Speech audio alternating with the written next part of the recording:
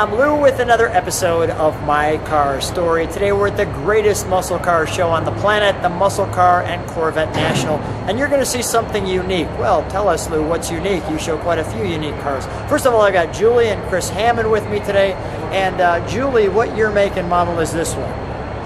1970 Superbird. 1970 Superbird. Chris, how many miles on this car? Right now it shows 9,046. 9,046 miles on our Superbird, and those are original miles. Correct. Unbelievable. So, Julie, you are a uh, confessioned uh, car girl. So, you weren't a car girl. How did you become a car girl?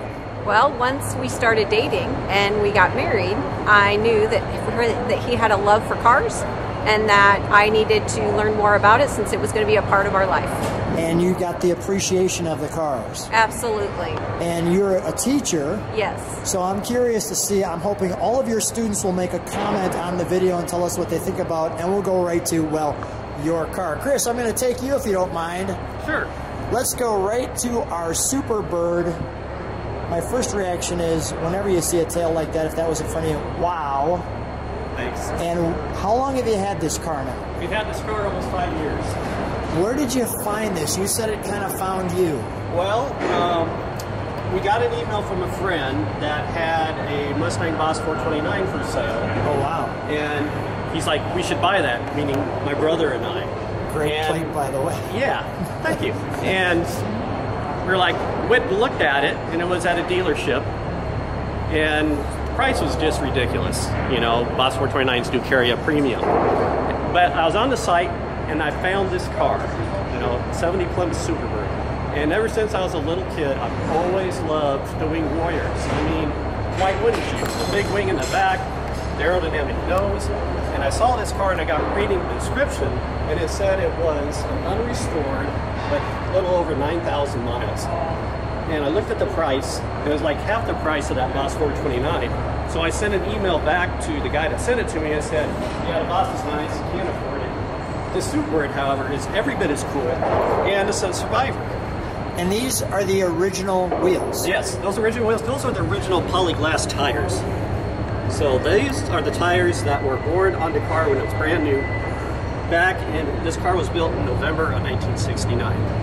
That's so anyway, unbelievable. Go ahead. I sent this message. My brother was on it, and like two minutes after I sent it, saying, you know, I'd much rather have a Superbird. My brother's like, "What's wrong with this car? If it is what it says it is, it's you. You. We need to get this." And I'm like, "Yeah, I don't understand it because why not? Plus, it's a car we've always wanted." And boy, so it kind of just fell in our lap. So he sent an email the next day we got a call, and before you knew it, we're sending a lot of money to a person we don't know uh, to buy the car. And when you got it, it was everything you expected. Oh yes, indeed, everything and more. What's interesting about the car is what it lacks, which makes it really, really special. Just look at the bumper et. Yep. Go ahead, I'm listening. So anyway, what's unique about the Superbirds, you know, they were converted Roadrunners and they used Dodge Coronet fenders. And if you look at the front fender, the Coronet being, you know, a fancier car, the side marker light is chrome. But the Roadrunner built on the Belvedere is not quite as a fancy car, and their side marker light is body color. So if you look at the... So the back one's body color. Correct. And let's go back to the front. And have a chrome bezel on it. And it's chrome. And also you've got chrome up here.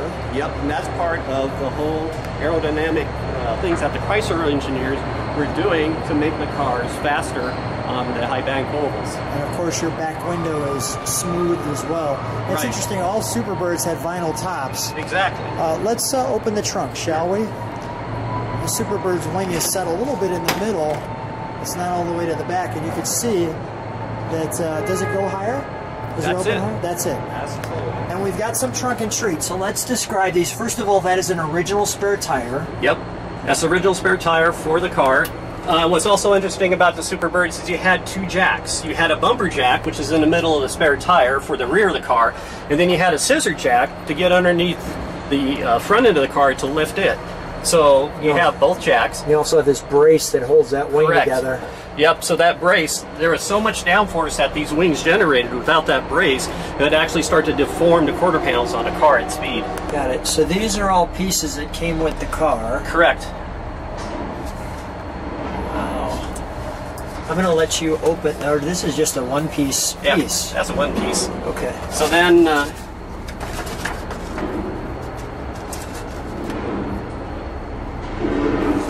The the original owner's manual. Tell me about this. This is interesting. Yeah, the keys are, are pretty interesting, and this is the original uh, tag that came from the dealership when the car was new with its keys, and then it also has the tag. So if you're ever to lose the keys, you could take that number and they'd punch out the right key for your car. So the back is there. There you go. Amazing. Let me show these build sheets. Yep.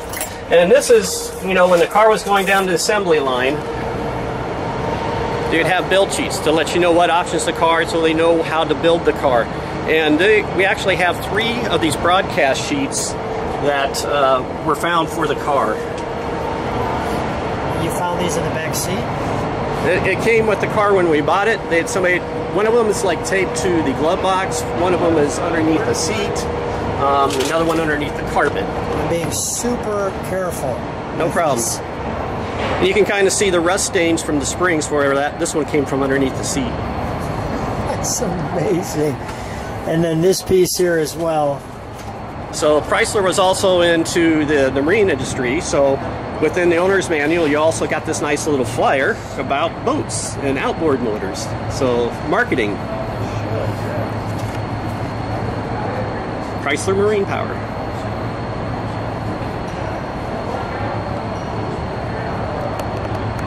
Yes, they're making it happen, Captain. Got it. Well, let's take a look. Those. Let's grab those keys. Yep. Let's take a look at the interior. We'll let you close that.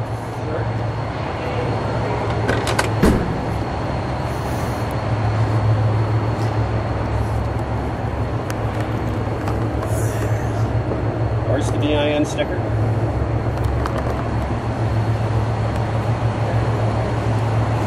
Door.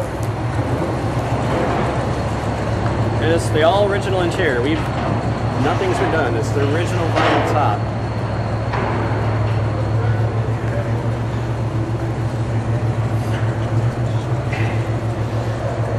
It's spectacular. Our beep beep. Naturally, you gotta you gotta do that when you're with a super bird Hear that sound. It was really nice. The clock still works, as does the tachometer. Even the AM radio works.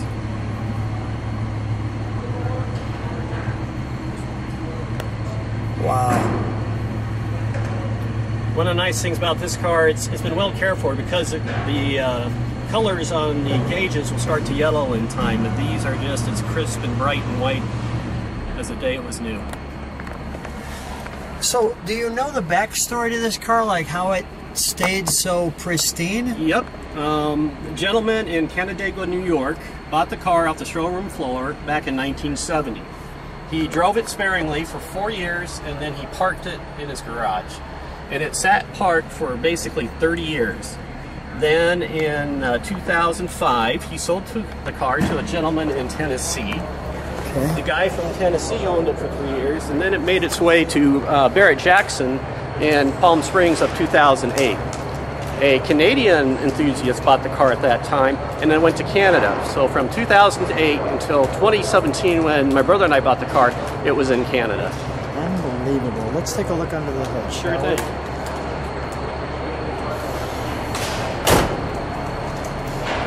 Another uh, The, thing about headlight, this. the headlights still open?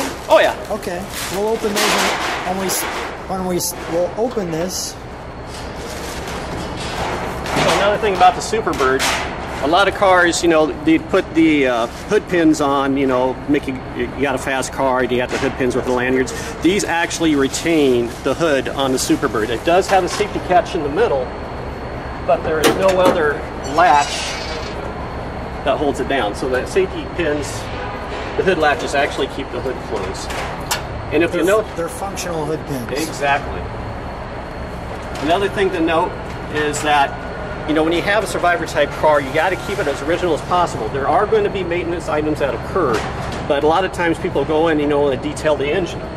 But if you look closely on the engine valve covers, it still has the factory crayon marks that identify the engine. So when you look at the build sheet, that number as well as the transmission, those crayon marks correspond to this car with that build sheet, and that's how they are. So these marks are all. Yep. Go ahead, show me the. Oh, there we go. I got Yes. your crayon marks. That's amazing. 440 Commando with the racing flags. Anything else I need to know under this hood? Obviously, we've got the beep horn, which is the Roadrunner, the water. Any other markings? Like I'm seeing this mark back here. Yep. You wouldn't normally see that. And I don't know if you can look down between under the cross member. There should be markings on that cross member as well.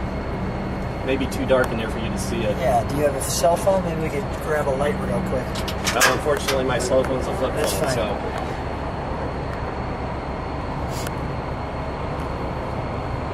But you can tell that uh, Your flashlight? Did you, can, can I hear your flashlight on your phone? Hey, have you got your little light with you? Sorry? You got your little light with you? Yes, I do. Can I use your flashlight there? So the engine assembly number is going to be on the front of that valve cover. This one. See that? See it? Oh yeah, yeah, yeah, yeah. I do. That's the engine assembly number that'll be on the build sheet. And then show me down here what we're if you look down, There we go. Oh yeah. Wow. That's amazing, isn't it? Absolutely amazing. Well, let's fire it up, shall we? sure. Thank you.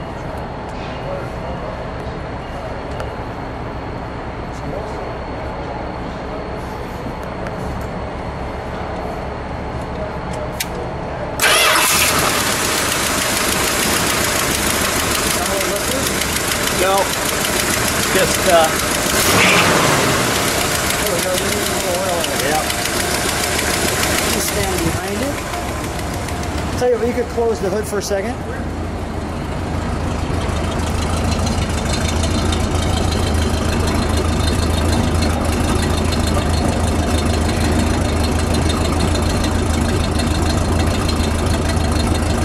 Put the baby to sleep on that one. Maybe step on the brakes. Now we'll have you give it a rev.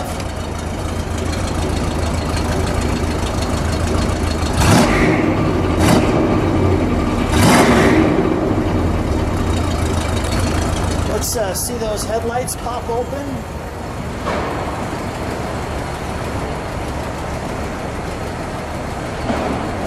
Nice.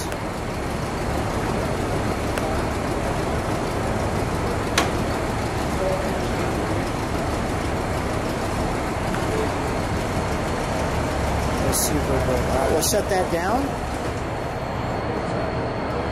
Come on out.